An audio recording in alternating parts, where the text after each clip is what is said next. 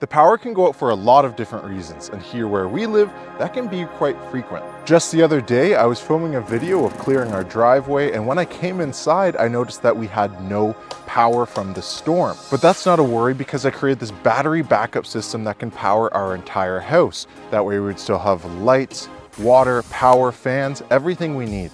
We no longer have to worry about the power going out because of our battery backup system. In this video, I'll share with you how we built it, how long it lasts, and why I think it's the future of most homes.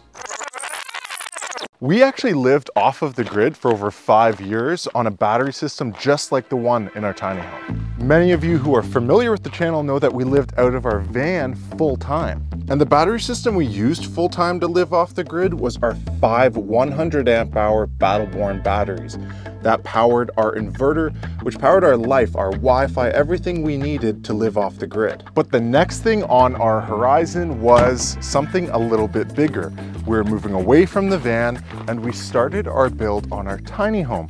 But that got us thinking, do we wanna stay off grid? Do we wanna go on grid? What about a combination of both? That may sound silly to a lot of people. Why wouldn't you just stay off the grid? Well, both on-grid and off-grid have their merits. And I could talk for hours about why it was the right choice for us, but I'm not gonna put that in this video today. Let's go check out how we figured out how much battery power we needed to power our tiny home.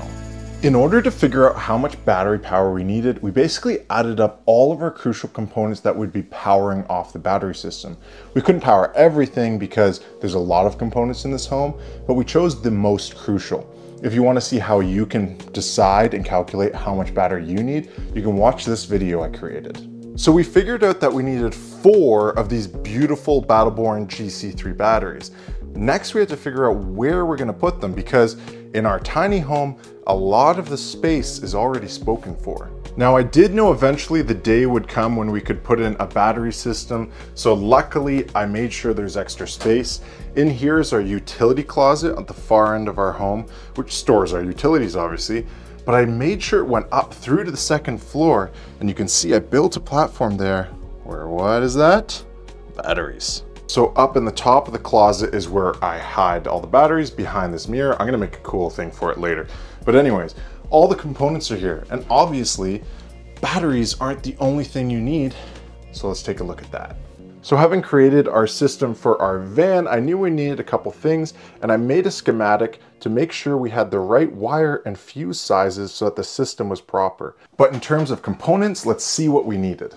Our system has four of these Battleborn GC3 270 amp hour batteries, which makes over 1080 amp hours of battery storage, which is killer. We also have our battery monitoring systems, our Cerbo GX and our BMV 712s. These are just basically ways of monitoring your power. We also have a solar charge controller, which isn't connected right now because I'm actually putting solar up on the roof this summer. So make sure you subscribe for that we have a battery switch, which basically disconnects the system, allowing you to work on it if you need to safely, as well as this Lynx distributor. This is basically a bus bar, which connects your positive and negative leads to the rest of the system. And of course, we have our inverter. This is a 3000 watt inverter and it allows us to invert power from DC, which is what batteries use, to AC, which is what household power needs. Okay, I have to toot my own horn for a minute here. I'm so proud that I was able to fit all of this in this tiny, tiny space. And the way I made it work was this really smart, ingenious system of having a pull out, a slide out panel here that has all the system on it. I can fully pull it out so I can work on anything if I need to. So let's check out how I did all this. Once I figured out the best way to orient the batteries, I want to work on this component board. I knew I wanted it to slide out, so I need to create a system to make that work. I relatively knew where everything was going to go, but I wasn't totally sure how it was going to work yet. I made some spacers where it'd slide on top of the batteries, and the spacer would allow it to hide all of the wires below. That way the wires weren't a jumbled mess on top. And I was actually really happy with my proof of concept and the way it was working so far. It's important to be able to access everything you need on a system like this to do any maintenance. I had a general idea now of where everything was going to go, and I actually wrapped the component board in a fabric just to clean things up. You can see I also have some access holes for where the wires are going to hide, but I think it turned out pretty good. Next is to connect the entire system together. So here you can see that I'm using one aught wire with terminal lugs and I'm doing it all custom. That way it's pretty, it's the proper lengths going from component to component and really it's done properly. But the most important thing is fusing. You can see there's a fuse there between those two connectors and doing a battery system or any sort of electrical system, one of the most important things you can do is have the proper fusing and the proper wire. One of the unique things I mentioned was that I want to hide most of the wires away. And so in order to do this, I need to step some systems off of the board to create space to access them. So I created this using just some really standard drywall screws and some tubing, and it created standoffs for this component so I could access all the wires beneath the Cerbo GX. The cool thing with Victron products is they can also communicate with one another, so I also connected them all with communication cables.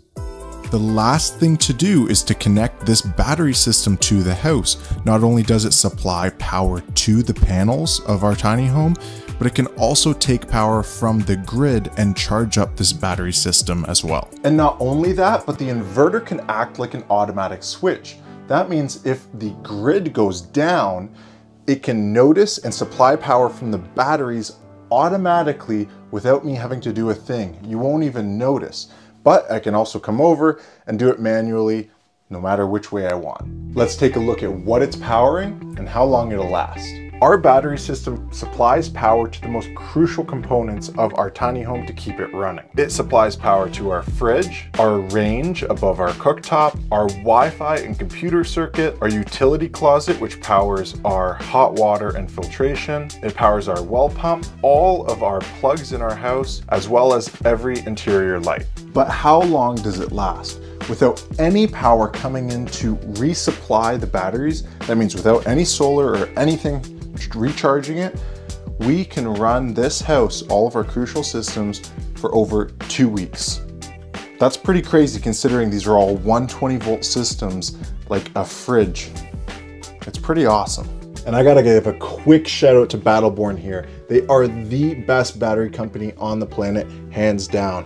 Their LiFePO4 batteries are unbelievably stable and safe, and they got us through five years of off-grid van life while using everything we needed to in that time, like I, I just, I can't give them enough credit. Let's go over some of the questions that I frequently get asked about a battery backup system, like cost and skill. Also, if you have any questions, drop them in the comments below. I'm more than happy to answer them. In terms of cost, having a battery backup system is expensive. We are in an age right now where the technology is only getting better, but it's not a super common thing for say households. In van life it is, but to bring them into a household and have enough power to run your house can be an expensive thing, so it's not for everyone. In terms of skill, building a system like this really doesn't take that much skill. There are so many resources online and I have lots listed in the description below for you to help learn how to do this. Honestly, anybody can do it. I'm not an engineer, I'm not an electrical engineer, I'm not an electrician. Like, you can just figure it out. There's so much help online to be able to do it. Some other considerations are, is solar the best option for recharging? Yes, I, I would have to say that the best option is a mix of things. You shouldn't have one way to recharge your system. In our case, we have the grid to recharge it because it's a battery backup system. We're gonna have solar, which we can hopefully rely on to reduce our cost of our monthly bill from the grid. But also, make sure you have a generator. A lot of people think if you're off grid, off of the electrical grid, that you can't run a gas generator. Just, you need to do what's best for you and running a generator is just one of those things that is a must because say where we live, cold climate where it gets very dark and not a lot of sun in the winter, you need to have a generator to be able to recharge your system when the sun just really isn't there. In the future, I'm excited to add our solar up on the roof. That way it makes our battery system a pretty closed system and can produce power for us when the grid is down, which happens often, which is crazy. But we're thinking of going back off grid in the future. But for now, the hybrid solution of on and off grid living works really well for us. I appreciate you watching till this point in the video. Thank you very much. If you could give this video a thumbs up, it really helps me out and gets this video out there to people who want to learn just like you did during this video. And also if you're not yet subscribed, make sure you click the subscribe button. Thank you so much for watching and I'll see you next video.